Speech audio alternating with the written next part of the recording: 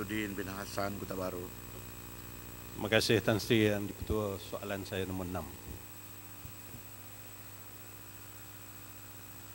Tan Sri Yang Ketua, uh, terlebih dahulu saya ucapkan terima kasih kepada Yang Berhormat Kota Baru kerana menanya soalan berkaitan dengan penyakit berjangkit.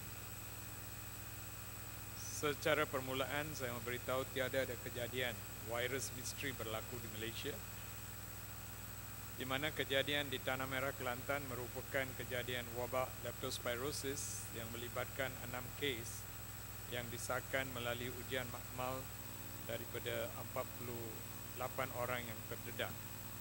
Penyakit leptospirosis berlaku di seluruh dunia dan adalah endemik eh, di negara beriklim tropika dan kejadian kes dilaporkan berlaku dari masa ke masa di negara-negara tersebut termasuk di Malaysia.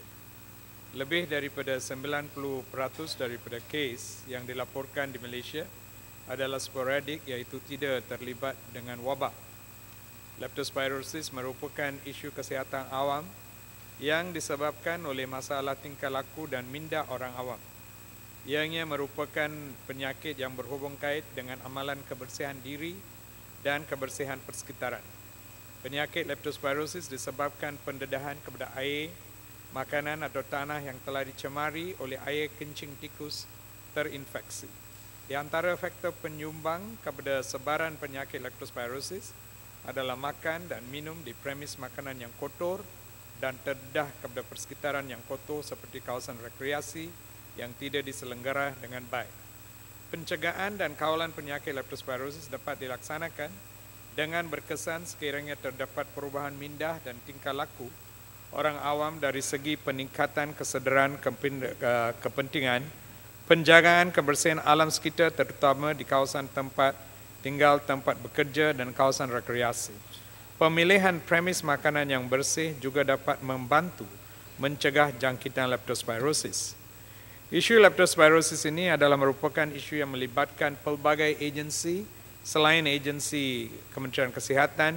Ini kerana pengurusan sampah, pengurusan saliran dan pipe serta pelisanan premis makanan dan kawasan rekreasi adalah lead power tanggungjawab agensi lain dan bukannya Kementerian Kesihatan.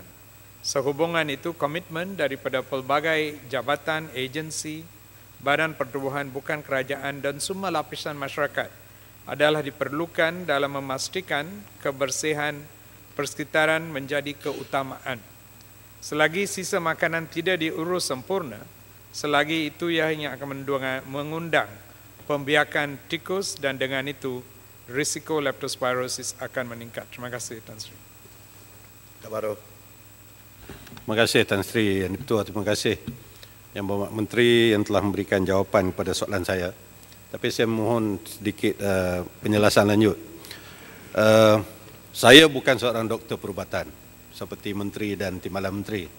Tetapi dalam negara kita, terutamanya ahli-ahli dalam dewan ini, kita sering kali mendengar dan menyedari apabila wujudnya satu-satu penyakit baru yang timbul dalam masyarakat di negara kita ini, ianya timbul satu yang uh, uncertainty, ketidaktentuan mengenai punca penyakit itu. Saya ambil contoh, kes yang berlaku di Tanah Merah awal bulan Februari yang lalu yang melibatkan 40 orang ahli keluarga di kuarantin kerana dikatakan penyakit misteri. Apabila wujud perkara ini, pelbagai pandangan diberikan termasuk daripada Jabatan uh, Kesihatan sendiri mengatakan uh, virus ini ada yang kata virus misteri, ada yang mengatakan dari bakteria atypical Klebsiella pneumonia, saya pun tak tahu nak sebut. Ada yang kata wabak zombie, gigitan daripada gigitan. Kemudian apabila berlaku kematian, uh, doktor yang uh, membuat rawatan uh, menyatakan cause of death adalah severe pneumonia. Jadi soalan saya kepada Yang Mohd Menteri, sejauh mana kekuatan institusi kajian yang ada dalam negara kita, seumpama IMR, Institute of Medical Research, dari segi kekuatan, dari segi bilangan pakar-pakar yang boleh membantu apabila berlakunya suasana begini memberikan satu finding ataupun penyelesaian yang terbaik supaya perkara ini tidak menimbulkan keresahan di dalam masyarakat. Terima kasih. Terima kasih ahli yang berhormat.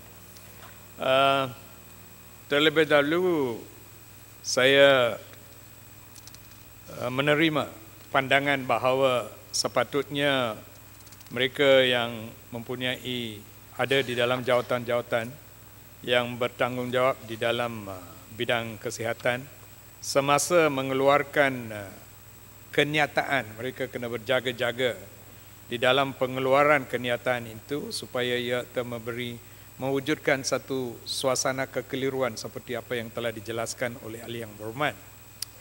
Uh, untuk menjawab beberapa daripada perkara yang telah dibangkit oleh yang berhormat, uh, satu ialah tentang kebibawaan institusi-institusi kesihatan yang di bawah negara kita, termasuk uh, institusi penyelidikan perubatan atau IMR dan institusi-institusi kesihatan awam mereka dan kebolehan mereka untuk uh, memastikan punca satu-satu wabak atau penyakit dan memberi uh, satu nasihat dan kenyataan yang jelas kepada rakyat. Uh, kita mempunyai institusi yang yang matang, uh, mempunyai kepakaran yang mencukupi, yang boleh dikatakan mempunyai kepakaran yang telah diiktiraf dan di uh, yang boleh dikata ialah sama dengan uh, taraf antarabangsa di dalam pelbagai jenis bidang. So kebolehan uh, institusi kesihatan di dalam negara kita untuk mengenal pasti satu-satu wabak contohnya dan memberi nasihat ialah boleh dikatakan mencukupi mencukupi dan selaras dengan apa yang ada di dalam negara-negara yang lain. Balik kepada isu 40 orang pesakit ini, uh, saya pun telah lihat kepada laporan uh, beberapa daripada mereka dan kekeliruan ini wujud kerana ada daripada mereka yang mempunyai bukan saja satu komplikasi tetapi mereka ada pelbagai jenis komplikasi. Contoh mereka ada penyakit leptospirosis termasuk pneumonia yang telah disebabkan oleh Klebsiella. So bila doktor memberi laporan so tentang punca kematian walaupun mereka sudah ada leptospirosis sebagai asas tetapi mereka telah dapat pneumonia dan itu yang mengakibatkan kematian mereka so di dalam dalam laporan kematian ini yang dikatakan sebagai punca kematian. Mungkin mungkin perkara-perkara itu ialah telah memberi pandangan seolah-olahnya ada pelbagai jenis penyakit di dalam kumpulan ini dan uh, kementerian tidak pastikan apa yang sebenarnya puncanya.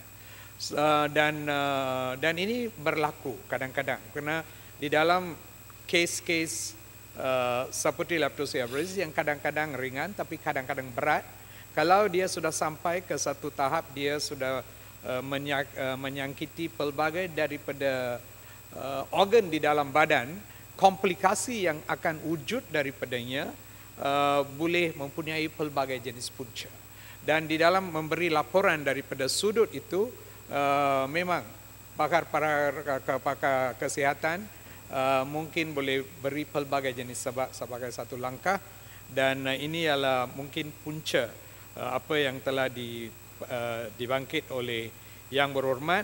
Tapi daripada sudut Kementerian Kesihatan daripada dasar uh, kita memang tidak mau mengeluarkan pelbagai jenis kenyataan yang bertindih ya atau you boleh beri pandangan yang berlainan di dalam kawasan rakyat dan kita cuba seberapa banyak yang boleh kawal perkara ini dan saya mengambil iktibar daripada pandangan yang dikeluarkan oleh yang berhormat.